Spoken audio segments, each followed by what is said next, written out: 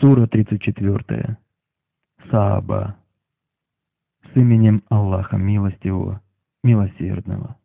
Вся хвала лишь одному Аллаху, которому принадлежит все, что в небесах и на земле.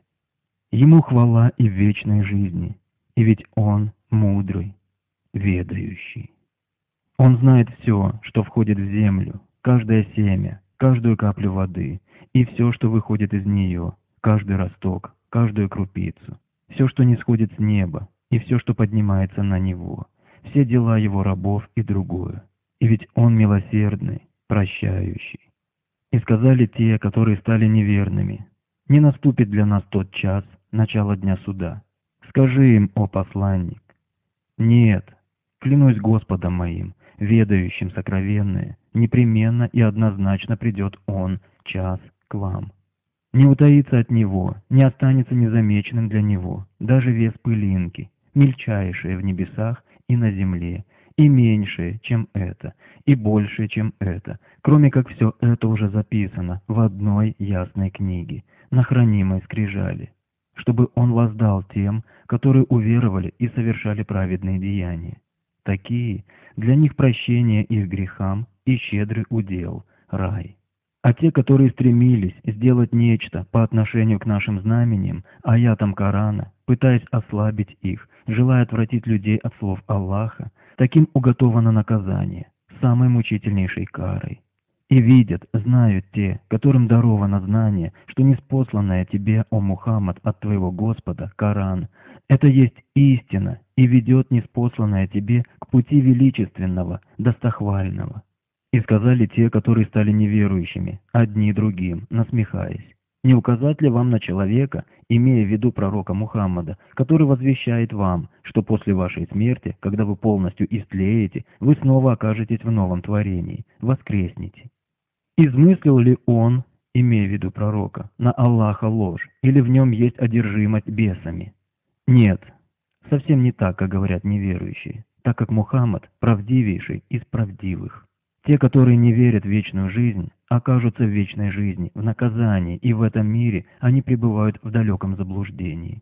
Неужели они, те, которые не веруют в вечную жизнь, не видели того, что находится перед ними и что позади них, а именно небо, которое окружает их, и землю, на которой они живут, чтобы задуматься над тем, насколько велико могущество Аллаха? Если мы пожелаем, то заставим землю поглотить их, как сделали мы это с Коруном, или бросим на них обломок с неба, как это произошло с народом пророка Шуайба. Поистине, в этом упоминании непременно содержится знамение для каждого раба, который обращается к Аллаху с покаянием. И вот уже даровали мы пророку Дауду от нас некое преимущество, пророчество, писание и знание, и сказали мы, «О горы, Возвращайте восхваление Господу вашему вместе с ним, с Даудом, и птицы тоже восхваляйте его. И сделали мы мягким для него железо, так что оно было в его руках подобно тесту. Делай кольчуги длинными, чтобы они хорошо покрывали тело воина. И определи меру в кольцах кольчуги, чтобы они не были тонкими, что кольчуга не будет защищать тело, и чтобы также не были толстыми, чтобы кольчуга не стала тяжелой. И делайте, о Дауд и твоя семья, праведное, дела повиновения Аллаху, ведь поистине я вижу то, что вы делаете. А пророку Сулейману подчинили мы ветер, утро его, путь, который проделал этот ветер до полудня, месяц пути всадника, и вечер его, путь во второй половине дня, месяц пути всадника. И заставили мы для него течь источник с расплавленной медью, а из джинов Подчинили мы ему таких, что работают перед ним по дозволению его Господа. Кто же из них, из джиннов, уклонится от нашего повеления, тому мы дадим вкушать наказание пламени ада. Делают они джинны ему, Сулейману, что он пожелает. Алтари, пристройки к местам поклонения Аллаху, изваяния из меди и стекла, чаши по размеру как водоемы, в которые набирается вода, и неподвижные из-за огромных размеров котлы.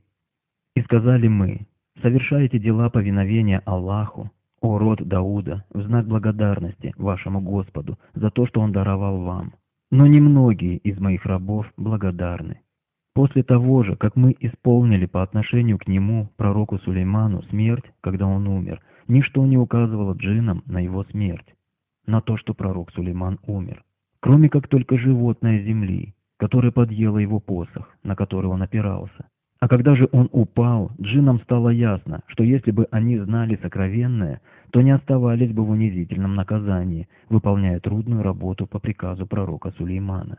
Пророк Сулейман умер во время молитвы и продолжительное время стоял в таком положении. Джинны же думали, что он смотрит на них, и продолжали безостановочно работать.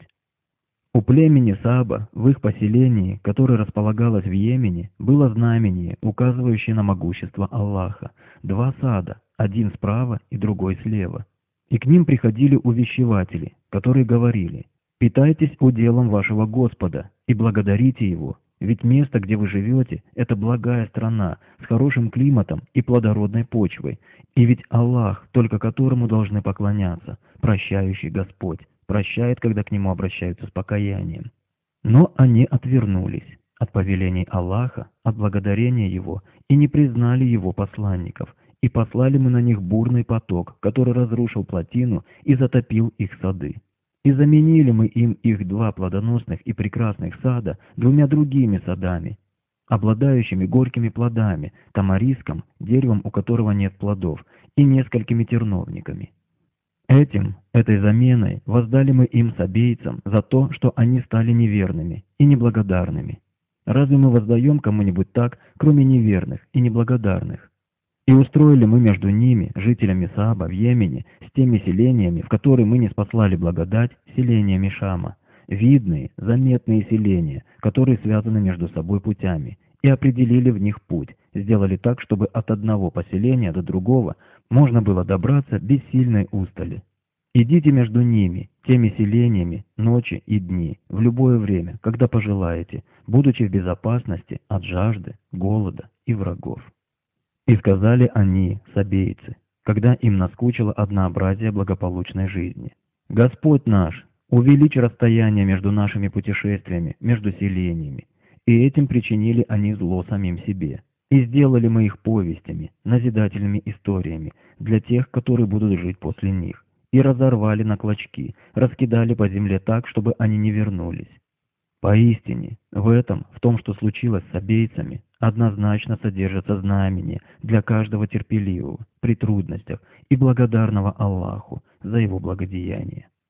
И вот Иблис подтвердил, нашел правдивым в них, в их деяниях, свое предположение о том, что он введет в заблуждение всех потомков Адама и что они станут повиноваться ему. И они же последовали за ним в неверии и заблуждении, кроме группы из числа верующих, потому что они были стойки в повиновении Аллаху. И не было у него, у Иблиса, над ними, над неверующими, никакой власти, чтобы принудить их совершать неверие и ослушание Аллаха. Но однако Аллах Всевышний, по своей мудрости, дозволил Иблису внушать людям неверие и грехи, лишь только для того, чтобы мы узнали, отличили тех, кто верует в вечную жизнь, от тех, кто в сомнении о ней, чтобы произошло то, что Аллах знал уже с извечности, и чтобы узнали это Его творение. И ведь Господь твой, о Мухаммад, хранитель всякой вещи. Скажи, о пророк, этим многобожникам, призовите тех, о которых вы утверждали, что они достойны поклонения, кроме Аллаха. Пусть они помогут в том, в чем вы нуждаетесь. Они, те, которых вы взяли за богов, не владеют даже весом пылинки на небесах и на земле. И нет у них, у этих божеств, там, на небесах и на земле, никакого соучастия. Нет для него среди них, среди ваших божеств, помощника. Аллах ни в чьей помощи не нуждается. И не поможет перед ним ничье заступничество, кроме заступничества только за тех, для кого он позволит. И когда Аллах Всевышний обращается с откровением к какому-либо пророку, это слышат ангелы, которые на небесах, и испытывают пред ним почтительный страх. А когда страх будет удален от их сердец, они, ангелы, скажут одни другим. Что сказал Господь ваш? Те скажут, истину, ведь Он высочайший, великий. Скажи, о посланник, этим многобожникам, кто питает вас с небес, давая свет и не спосылая дождь, и земли, выводя растения и устроив в ней полезные ископаемые? Если они не скажут, что это Аллах, то ты скажи, Аллах дает всем пропитание.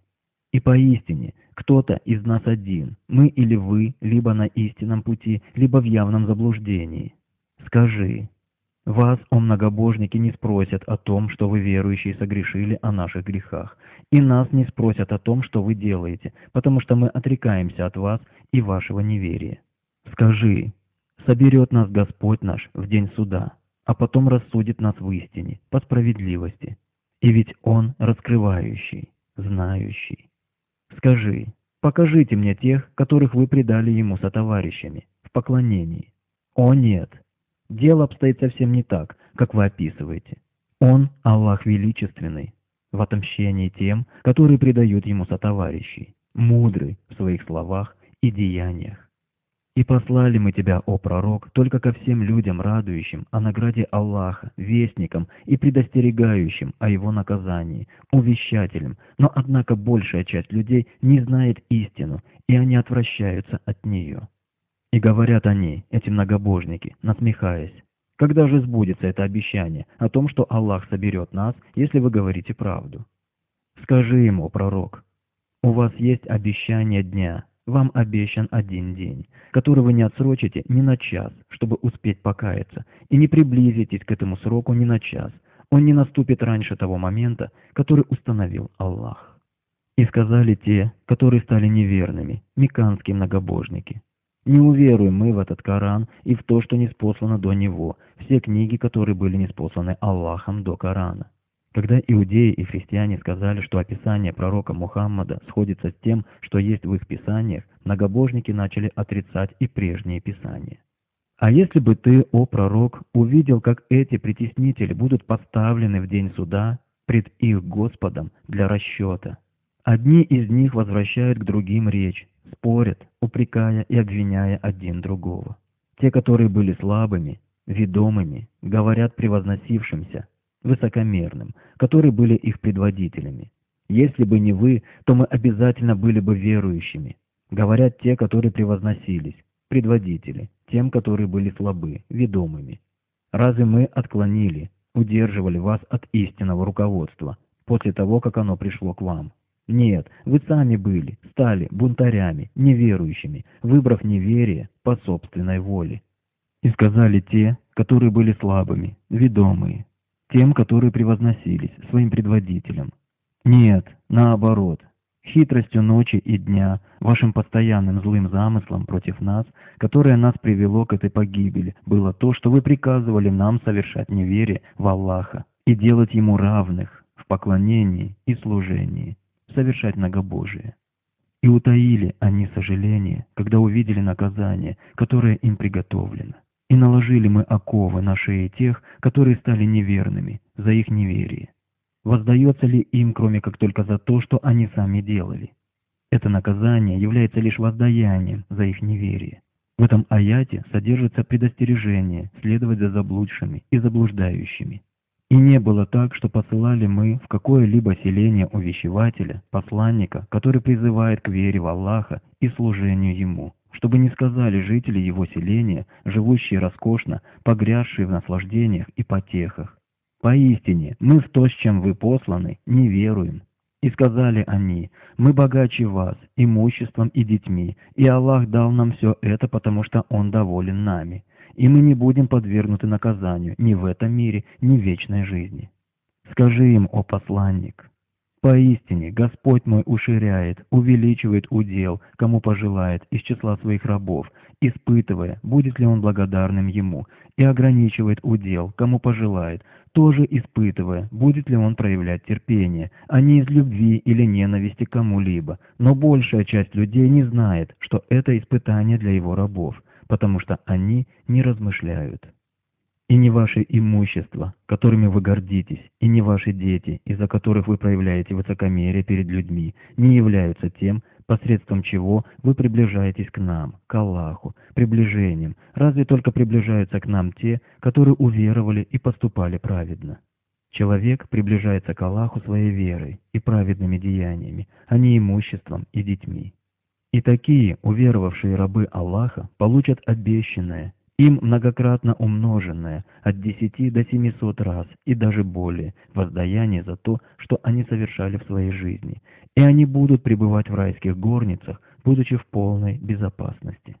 А те, которые стремятся сделать нечто по отношению к нашим знамениям, аятам Корана, пытаясь ослабить их, желая отвратить людей от слов Аллаха, те такие будут вергнуты ангелами в вечное наказание в аду.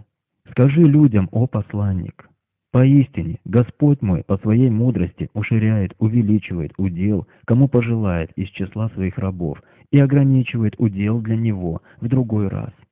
Если вы израсходуете что-нибудь из вашего имущества на те цели, что Он повелел вам, то Он возместит это потраченное, дав другое имущество в этом мире и даровав награду вечной жизни.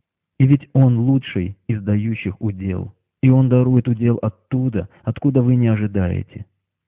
И в тот день, когда Он, Аллах, соберет их, многобожников, всех в день суда, и затем скажет ангелам, упрекая тех, кто поклонялся им, «Неужели эти многобожники вам, ангелам, поклонялись?» Скажут ангелы, «Преславен Ты, о Аллах! Никто Тебе не равен!» Ты, о Аллах, наш покровитель, которому мы обращаемся за покровительством, повинуемся и поклоняемся, помимо них, мы отрекаемся от этих многобожников. Наоборот, они многобожники поклонялись джиннам, большая часть их веровала в них, в джиннов, в повиновении им.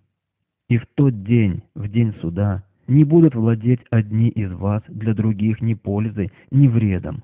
Те, кому поклонялись помимо Аллаха, не смогут ни помочь поклонявшимся им, ни причинить им вред.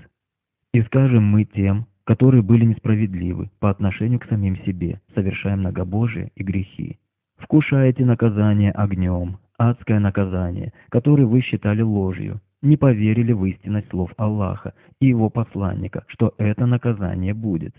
А когда читаются им, многобожникам, наши знамения, аята Корана, будучи ясными в изложении, имеющие очевидный смысл, они говорят, «Этот, Мухаммад, он только человек, который хочет удержать вас от того, чему поклонялись ваши отцы, от поклонения идолам.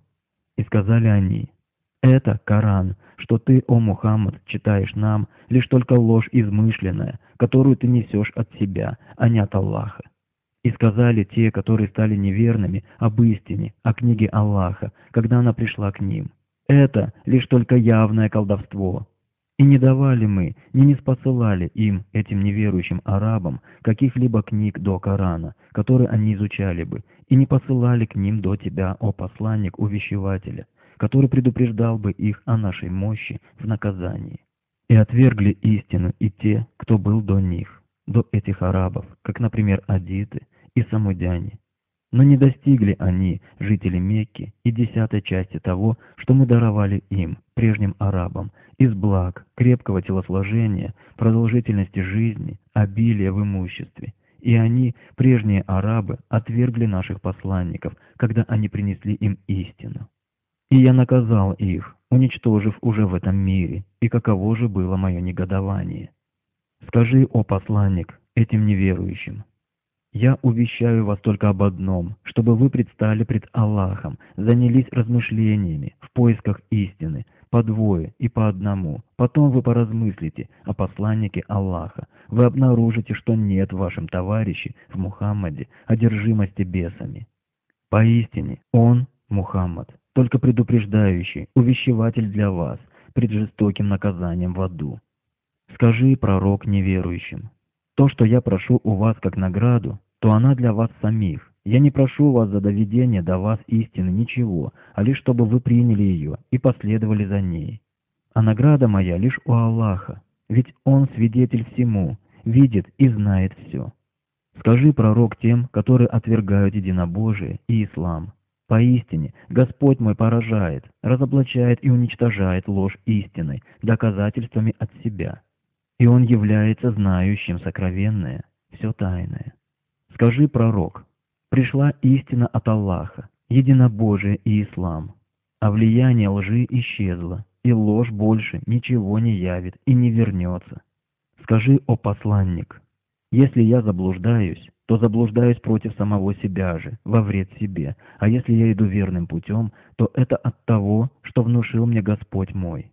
Поистине, Он слышит то, что я говорю вам, и близок к тому, кто обращается к Нему с мольбой. А если бы ты, о посланник, видел, как они неверующие испугаются, когда увидят наказание Аллаха, и когда не будет уже возможности для бегства, спасения, и будут схвачены для наказания из близкого места, никто не сможет убежать от Аллаха. И они, неверующие, когда в вечной жизни увидят наказание, скажут, «Мы уверовали в Него, в Аллаха». Но как им добраться до веры из далекого места в таком положении? Как им стать верующими в вечной жизни? А ведь они уже проявили неверие в Него, в то, что уверовали только теперь, еще раньше, и перекидывались мыслями о тайном, делали предположения, говоря, что нет воскрешения, сбора, рая и ада из далекого места, не имея никаких оснований для таких ложных предположений. Но разъединено между ними, неверующими, и тем, что они желали, уже нет возможности для них вернуться обратно в мир, чтобы уверовать, как было сделано Аллахом с их партиями раньше, с неверующими прежних поколений. Поистине, они пребывали, когда были на земле, в обвергающем, в растерянность сомнении относительно посланников Аллаха, воскрешения, расчета и воздаяния.